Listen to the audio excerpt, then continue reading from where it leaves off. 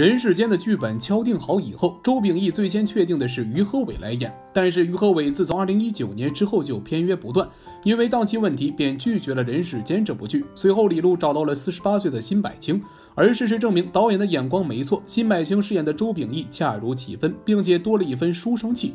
面对妻子岳母，周秉义的所作所为几乎都挑不出毛病。为了冬梅，放弃的升职机会，得知冬梅不能生育后，就将责任全部揽在自己身上。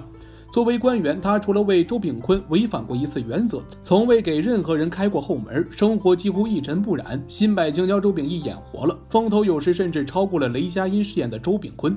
不过，让四五十岁的人演二三十的小年轻，也有观众评价：刚开始看的时候违和感太重。四五十岁的人演二三十的小年轻，一笑脸上一堆褶子，一笑就暴露年龄了。每次场上喊的最多的就是让演员控制一下自己的皱纹，控制一下皱纹。这一笑满脸褶子，控制。首先注意眼角纹，然后注意抬头纹，啊，同时注意啊。一八五是吧？都有啊，你像七五的，你八三的是吧？咱都八三的，咱别聊这事儿。跟我一七九的。雷佳音三十九岁，辛柏青四十九岁，樱桃也已经四十二岁。一开始导演觉得樱桃饰演不出少女感，而樱桃用演技告诉他这都不是问题。俩小手揪点小辫儿，又年轻了好几岁。做作的一样。不得不说，演员精湛的演技早已填补了这种违和感，反而为人世间添了几分时代感。不知道观众们觉得他们演的有违和感吗？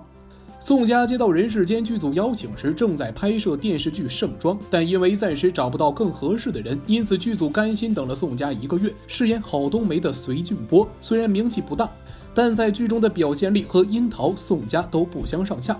尤其与母亲争吵的那段戏，给你们教训教还是枪？我从哪让你？我理是正的，没关系。您打我这边，我我给你们教训教还是轻？轻。给你们教训教还是轻？两人的演技一起爆发，光是一段被打的戏，反复拍了多次。宋春丽老师都愧疚地表示自己手都打红了，但隋俊波却表示：真的是我这手都疼了，红了。这巴掌戏就不一样了。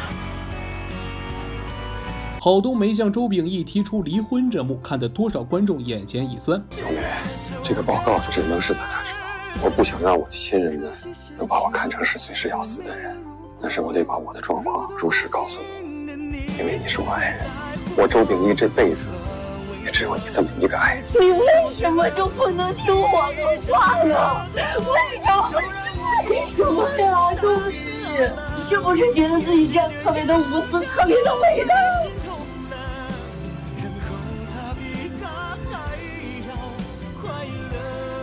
原著中，周秉义因病离世，郝冬梅三个月后改嫁。他给郝冬梅留了三句遗言：一是说他死后不必买墓地，把骨灰放在爸妈墓室就行；二是如果有人议论他、攻击他，千万不要去辩解，不要打抱不平；三是希望郝冬梅能重新找一个好的归宿。于是郝冬梅三个月后嫁给了一个有钱的丈夫，甚至还去韩国整了容，从此有了新的生活。而在隋俊波晒出的剧照中显示，电视剧中两人应该是最终白头偕老，安度晚年了。周秉义曾经因为喝酒喝出了胃穿孔，或许最后经过治疗痊愈，顺利退休后与郝冬梅再次回到东北安享晚年。周炳坤出狱后与郑娟开了包子铺，平淡幸福。而周蓉也改过自新，学会了付出，这样的结局或许是最完美的。辛柏青在人世间饰演的大哥周秉义，低调内敛，双商都很高，精湛的演技让他再次获得了观众的认可。在戏外，辛柏青同样是一位优秀的丈夫。他是国家话剧院一级演员，与中戏同学朱媛媛结婚几十年，一直是圈中的模范夫妻。而辛柏青在圈中做到了洁身自好，几十年来零绯闻。一次，辛柏青去到外地拍戏，二十多天没有回家，结果回家后发现女儿一时之间没认出来自己，不敢与自己亲近。从此，辛柏青就很少接外地的戏了，即便是推掉千万片酬的戏，也要回家照顾女儿。我一一进家门，他看见我，我说爸爸回来了，然后冲他做鬼脸招手，他就看着我。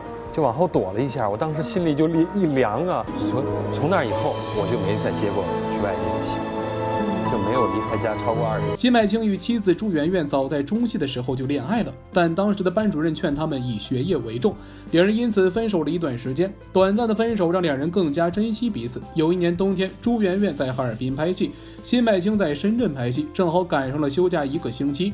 辛柏青一咬牙买了张很贵的飞机票，折腾了一天飞到哈尔滨。